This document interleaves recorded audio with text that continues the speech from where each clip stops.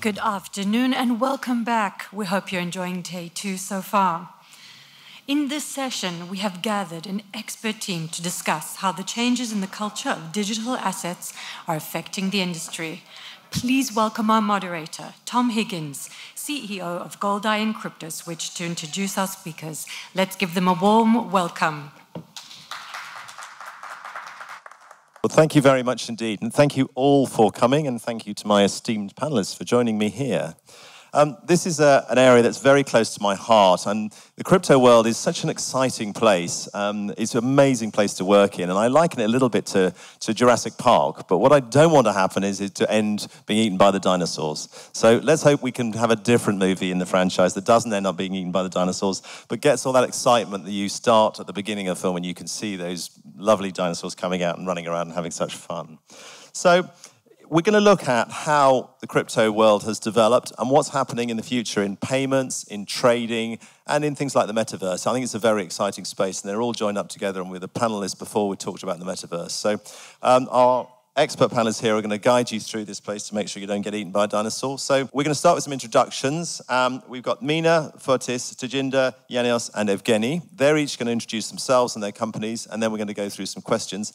At the end, I will be asking questions to the audience. So if you can think as we go through of some questions you'd like to ask, that would be great. And then they've roving mics so you can ask those questions. So if we could start here and do the introductions. Mina, if you could start. Thank you, Tom.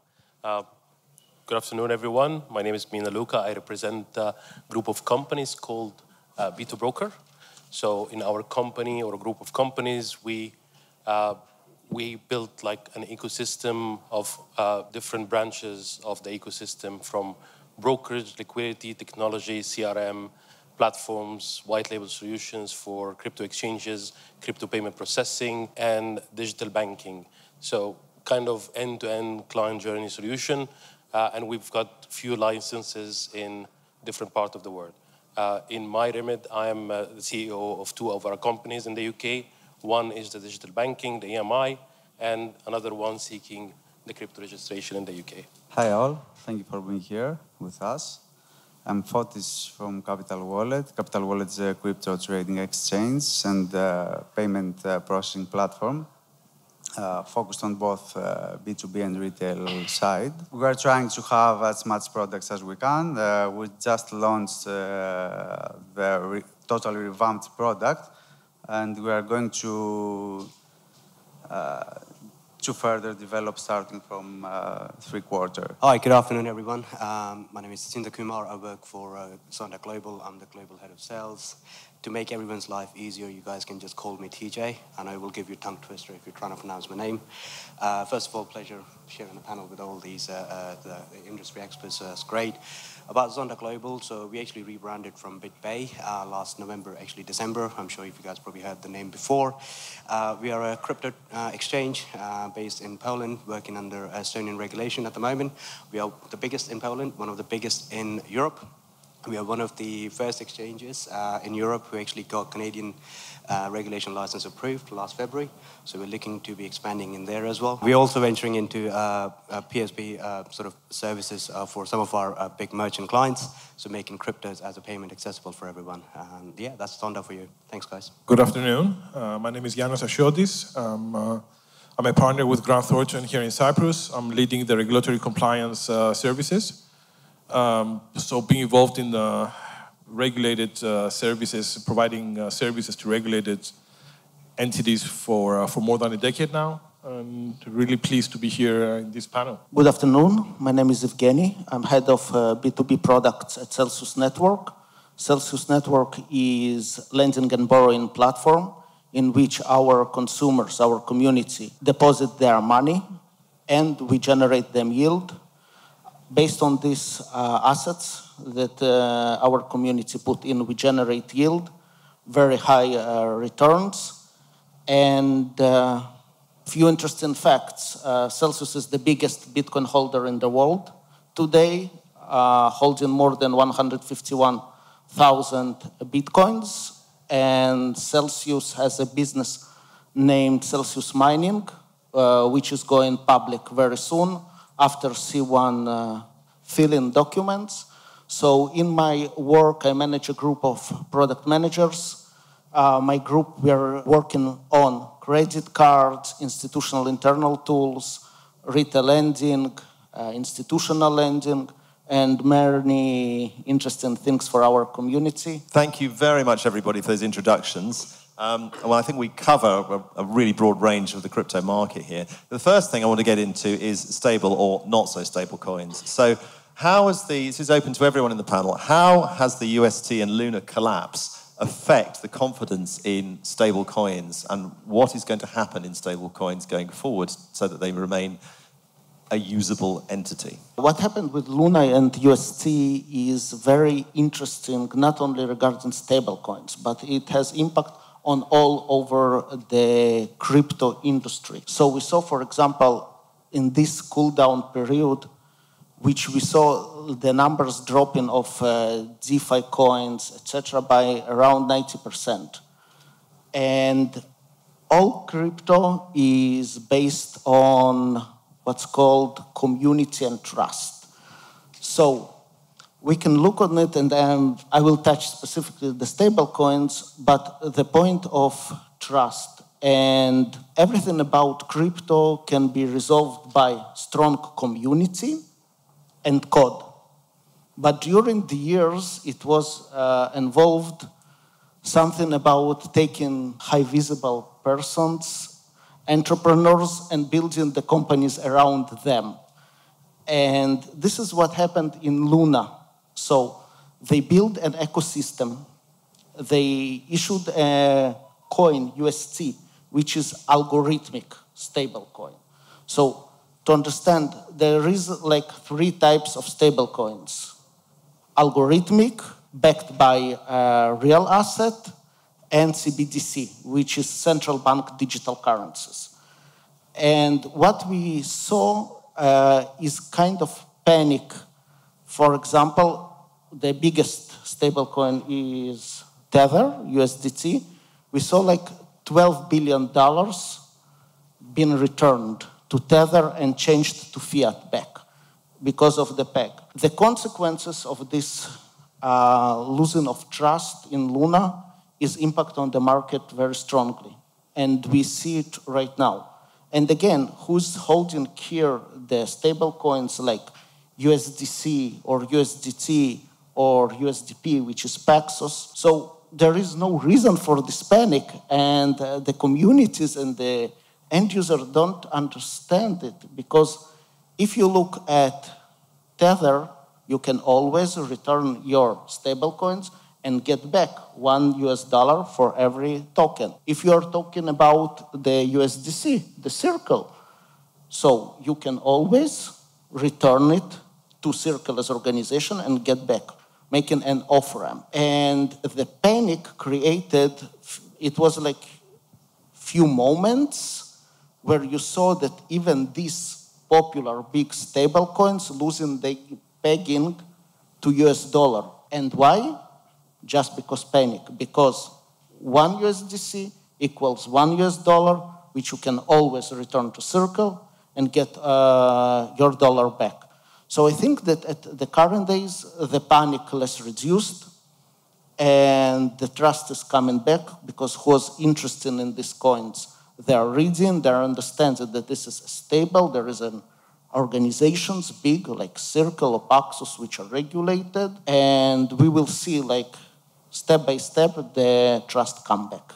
Thank you very much for that. I wonder if any of the other panelists have got any comments on whether this can happen again, whether we do need to still worry about other stablecoins that exist today or other ones that are, may come along that are in planning. Basically, Evgeny raised a, a very, very important point here. Uh, he talked about the whole ecosystem working on trust. So, uh, what, what I would like to point out here is that exactly what happened was, was the reason why regulators have to have a say in what's happening. The reason of any regulator is, is based on two very, very important pillars. Integrity of the markets, protecting the integrity of the markets, and protecting the interests of the investors. What happened here happened exactly because there was no outside force to ensure that these two very important pillars of regulation will be applied. So I, think that this is a very, very good showcase of exactly why regulation needs to be somehow affected into the whole ecosystem of, of cryptos. So, I mean, to answer Tom, I think that regulation is one of the answers that need to be heard in, in, in regards to ensuring that something like this is, will have less of, of a possibility of happening again. I agree entirely on that one. And I, I, Tajin, have you got a no, comment? Um, Yanis and Yevgeny already explained it very well, and I personally feel it didn't affect any confidence in the stablecoin itself. UST is just one form of stablecoin, and like uh, Yevgeny mentioned, it's an algorithmic trading, uh, uh, algorithmic stablecoin, which actually isn't backed by anything. When you look at the other stablecoins, the USDT, the USDC, the BUSD, they're actually backed by fiat. And when UST was actually dropping, uh, the other stablecoin, especially USDT, was actually going up. So I don't see from investors and retail client point of view that the confidence actually went down. It just, you always can trust on uh, uh, what we call it the blue chip, uh, the coins obviously, and they're still number three and number four on the top 10 from, from market cap perspective. But yeah, like Yanis mentioned, regulatory uh, regime definitely needs to be there to protect those retail clients who probably lost a lot of money uh, when the crash actually happened. I think if I look at um, look at this point um, from a different perspective, you you've got Luna, uh, Terra Luna. If uh, they, they got away with it, the biggest wealth management company, without mentioning names, still still got away with it. So legally, legally, nothing happened illegal. They found a, they found a gap in algorithm. They used it in their own advantage, but that collapsed the market. So any regulations, any AML registration, because they call it AML registration, not really a full license, they look at compliance, they look at AML, they look at uh, uh, fraud prevention, they look at IT security, but they don't look at how the algorithmic are built. They don't look at gaps because it's a learning curve for everyone. So this will pay attention, uh, everyone, to these gaps. Well, let's move on to the topic of regulation then, because it seems key, because that seems to be a really important part in getting stablecoins accepted. So, how will regulators who are all over the world, they are not necessarily up to speed on cryptocurrencies as they are on traditional assets. How will they come together to produce something that is will work globally? Because I don't think we're going to have a situation where we have a regulator one place doing it in a completely different way to another one, because all the business will just move to where the easiest area is, as it was in FX. So how will that develop um, into a, a, proper global regulatory regime? Right now, I mean, regulation is, is, is almost non-existent. Uh, in the European Union, you, you have the so-called registration of crypto exchanges which pretty much only covers uh, uh, currency, I mean, uh, fiat to crypto, crypto to crypto, and some crypto to fiat exchanges, and also digital wallets, but nothing else pretty much covered in terms of regulation. And, and even in the European Union, you have various types of regulatory approaches. I think all of this is going to start changing uh, probably in 2023 or late 24 when, uh, when MiCA it's going to come into play, which is a market in crypto assets which is pretty much the equivalent of the market in financial instruments that we had back in 2007. Uh, that's for when basically we had for the first time a unified financial services regulation coming about in the European Union. So I think that's going to be critical because for the very first time we will have, I'm not going to say global, but, but at least a generally accepted framework of regulation, which is going to start shaping how regulators should be approaching crypto as, as an asset, as, as a medium of payment, as a representation of property.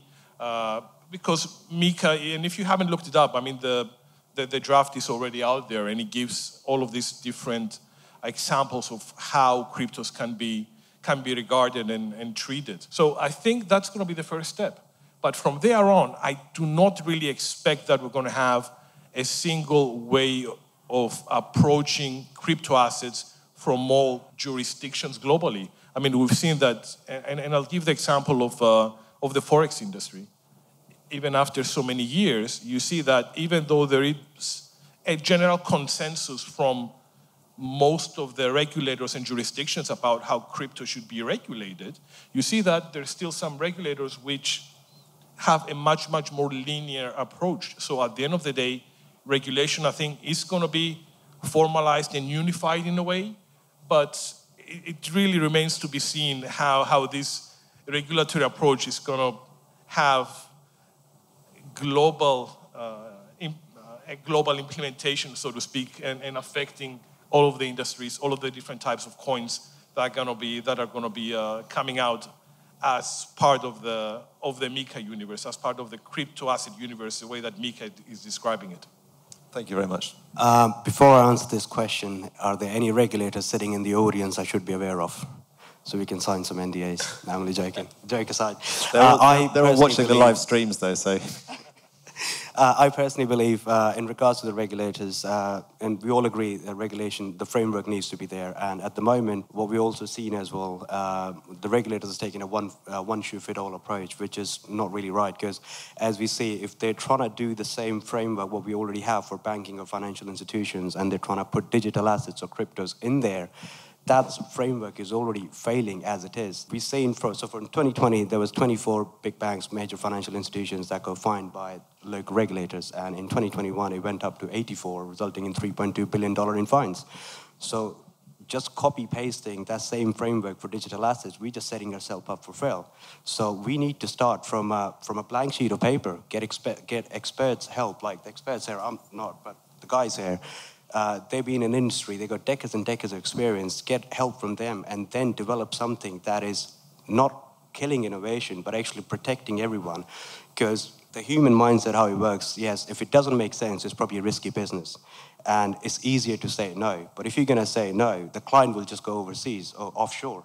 And then they're still trading or using an unregulated exchange. So it's not really helping anyone. So we really need to sit down and make this framework work with the help from the people from the industry. Thank you for that. Has anyone else got a comment? One fine line that people tend to mix is it highly should be highly regulated, or if you highly regulated, that will be no different than the current banking system. So to make sure that we use crypto in the most efficient way, like DeFi, use it for uh, uh, smart contracts, uh, insurance, uh, um, and depending on mortgage, etc., etc., to use it in a different DeFi way, decentralized finance, then we have to be very careful if it's highly regulated or decentralized. There are two, this is a fine line between both. Decentral- Decentralization is what we're looking for, but regulate all these activities to do it in the right way. That's what we're looking for. Thank you very much. That, that actually also leads into my next question very well, so thank you for that, which is all about exchanges. So there's sort of two types of exchanges. There's centralized exchanges and there's decentralized exchanges. What does the panel think? Which exchanges are going to be the ones that will survive? Will it all go centralized? Will there be a mix of the two? Will there be a, some sort of merger? Or will decentralized just win everything? Um, who wants to answer that one? Anyone here? I, I will Okay. start. Um, so le- I will start with an example to our audience, which is centralized exchanges. The most popular are uh, Binance, Coinbase, Kraken. Now, the decentralized exchanges, you can find Uniswap, OneInch, Bancor, and uh, thousands of other protocols who've been uh, written and used. So, to this question about what is in the future, uh, both centralized and decentralized, they need to live in parallel. And here we touch in exactly the point of the regulation. So, for the users who are going into crypto for the first time, they want to exchange their fiat into stablecoin to get some other asset or to gain yield like we are doing in Celsius, they must go through these centralized exchanges, which are easier and the fees are smaller. But the gap of this centralized exchanges, and by the way, the market is dominated by centralized exchanges, something around 90% of the trading volumes going through these centralized exchanges. But in the decentralized, and the main motivation there is smaller fees. So it's only protocol and code which match in between the buyer and the seller or the pool. So there is the commissions are much smaller. And if you're going through the beginner who started at Binance or Coinbase and purchased the first assets, then you move to the centralized, which where you can have more flexibility in trading and lower fees. But here we are touching again the point of the regulation. So how from the decentralized you're taking money back your revenue into your uh, bank account and do with it uh, other investment in the fiat world. Thank you very much. Tejinder, you, uh, did you have a comment? Yeah, I think um, it will be a mix of both. It will depend on the, um, the clients who are using it. If it's a retail client who's probably a teacher uh, by profession, for them, uh, a centralized exchange is probably the best option because they probably don't even know what PancakeSwap is or how to even use that or what's a slippage, how to set slippage and all that. And if you're talking about someone who may be an experienced trader uh, or a hedge fund or an institution, for them decentralized exchanges is probably the best, uh, they will serve them best as well. So I guess it will be a bit of mixture for uh, uh, in both. It wouldn't be one better than the other, in my opinion. Thank you.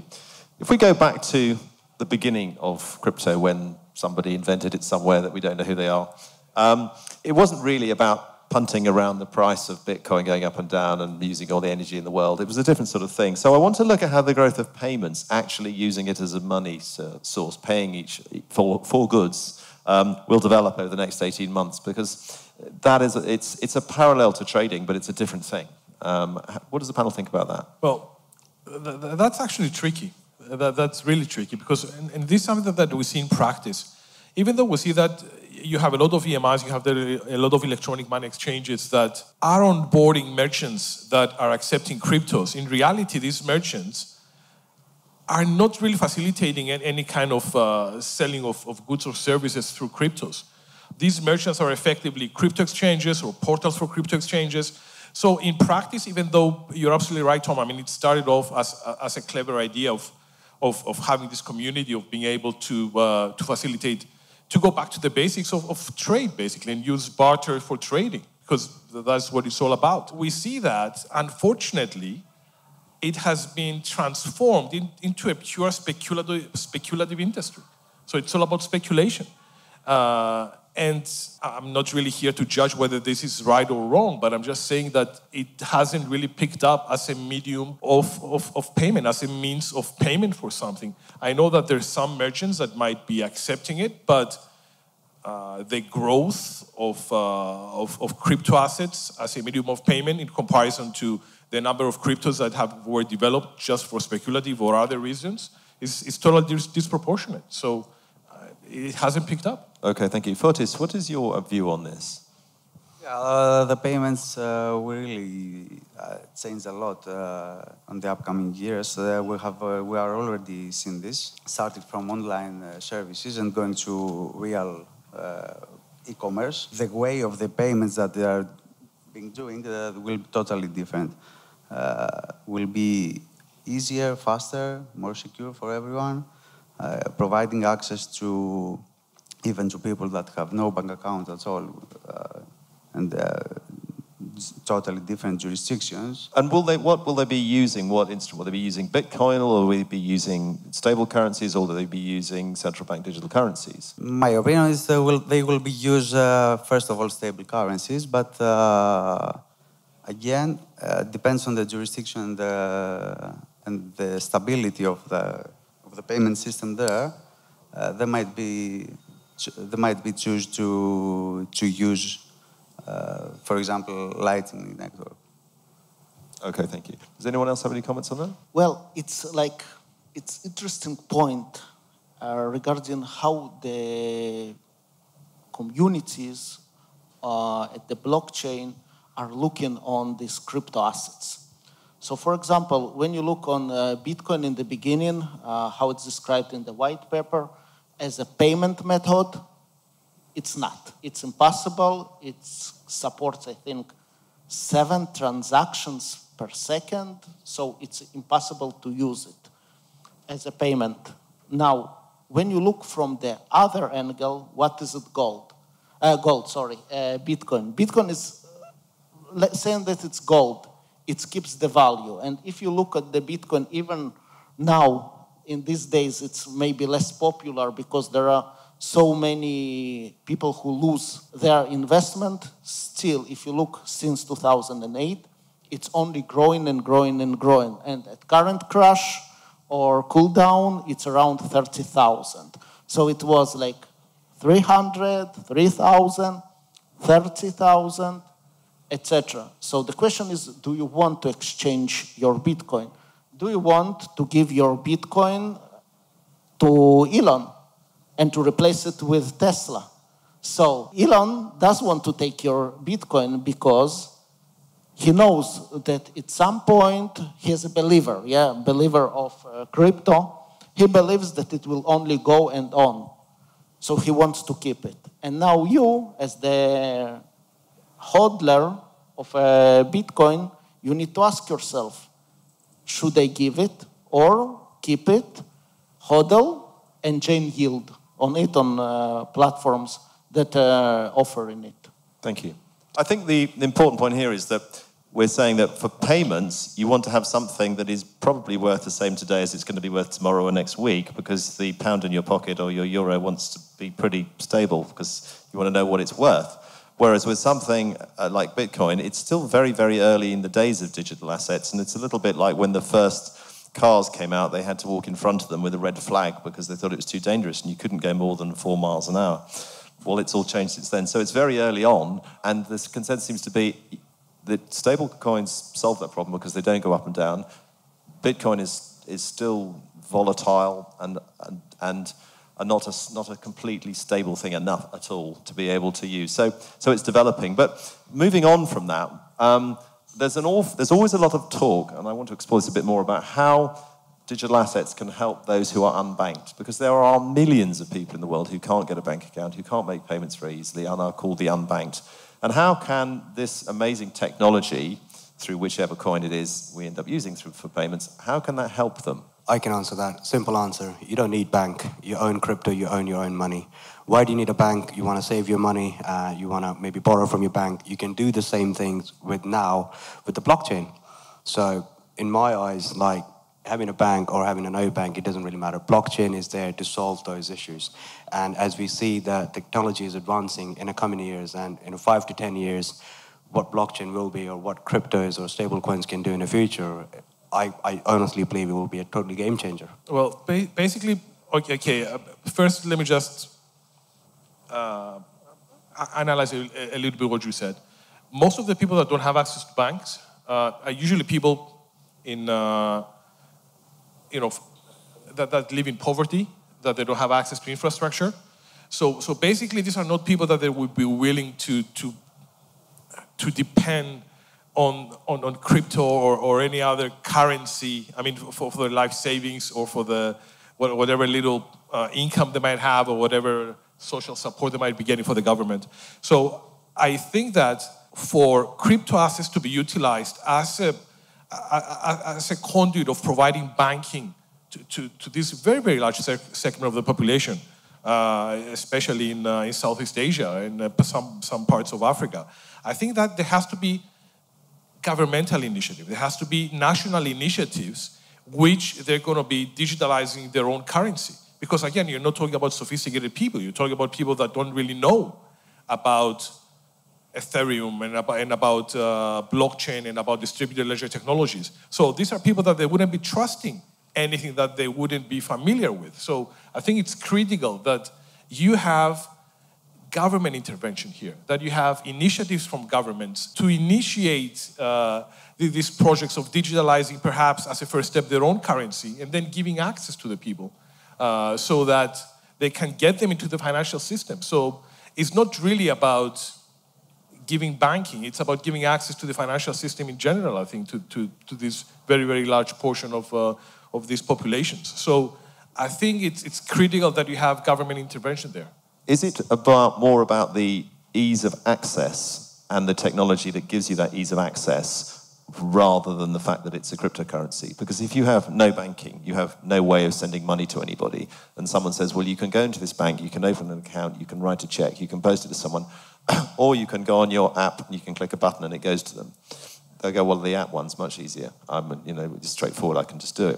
And it's a little bit like many parts of, say, in Africa, the telephone network didn't develop for everybody with wires because it was just far too difficult to put wires in everywhere. And so the predominant method of communication is via mobile networks because you can put one mast in and it goes for a very long distance to thousands and thousands of people. So is it the technology that's the thing that's doing it here rather than the fact that it's crypto?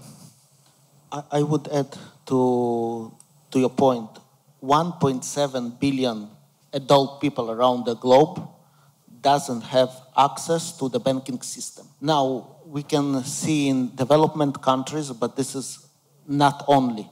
Even in the United States, in Israel, you have hundreds of thousands of people with no access to the banking system because of the bad credit score, bad history, their accounts been blocked.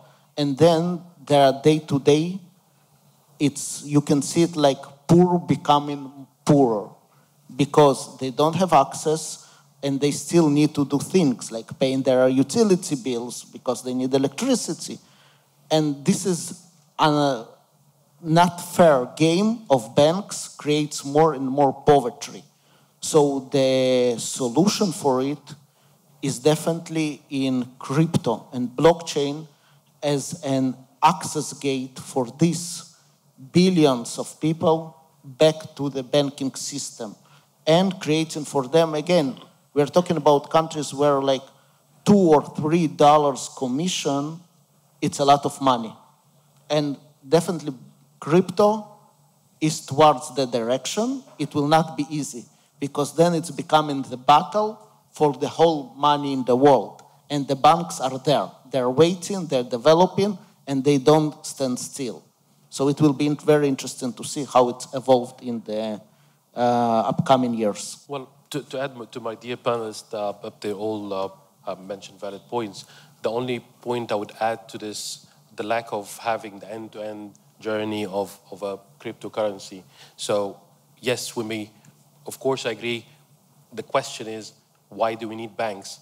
Maybe now we need them, but these banks will have to evolve.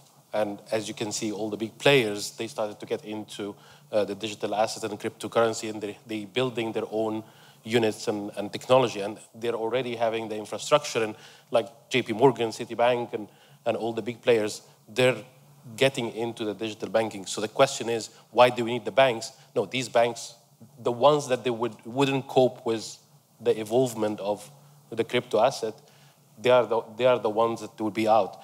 But to add to this, the reason why we still need them because the end to end journey is not there yet. We're not at this stage. It's a new thing. You pay to a merchant. The merchant needs to use this money because he needs to pay taxes, he needs to uh, pay, for, for, pay for his livings, and so on.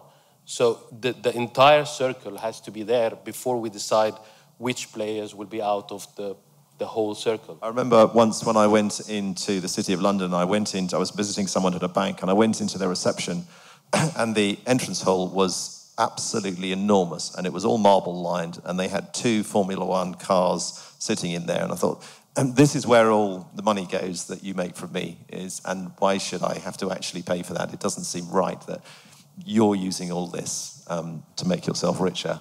So I think it's very interesting um, comments you've had on all of that and how that, how that will help. One of the areas we want to look at is we're at an FX and the CFD conference, and we're talking about crypto. So how can all of this merge into what the, our friends in the FX and CFD broker world works? How can they add cryptos, or digital assets to use the polite term, to their portfolios um, to, to in, encourage more trading, to get more, to, to, to get a different um, set of customers using them who would not necessarily use them before? I think liquidity is the answer. Uh, having the right liquidity to, to absorb these high volumes of transaction would be the answer. And I think all the players are there now, and uh, more investors getting into the liquidity business and uh, liquidity aggregation. And I think to to make sure that these transactions are uh, are fast, are uh, no lapse, you know. Pricing are close to the accurate, then liquidity would be the answer. And will it require regulatory changes to allow these people? Because if you're a regulated broker under FCA in London, and you want to list a Bitcoin trading on your uh, on your MT5 or something, for example, um, how can you do that if you're not even got regulation? When will that come? Well, that's a very big discussion. I mean, uh, there is there's a couple of ways that this can be done. Now, initially, all the FX brokers were using CFDs on cryptos, right? Because they wanted to get into the game. Uh, and the only way to do this was to offer CFDs on, on, on cryptos, just like you would be offering CFDs on any other kind of asset class that has a relative amount of liquidity, so you have a pretty constant flow of prices coming in.